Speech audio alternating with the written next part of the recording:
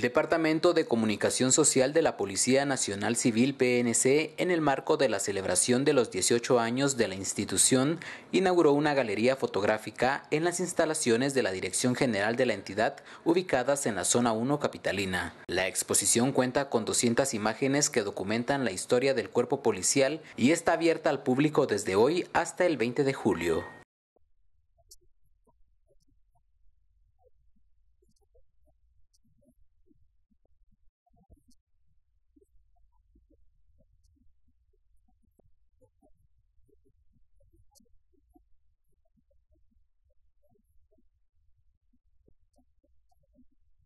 El Cuerpo de Protección Civil fue instituido en 1997 según decreto 11-97 del Congreso de la República cuando comenzó su despliegue en toda Guatemala con base en los acuerdos de paz.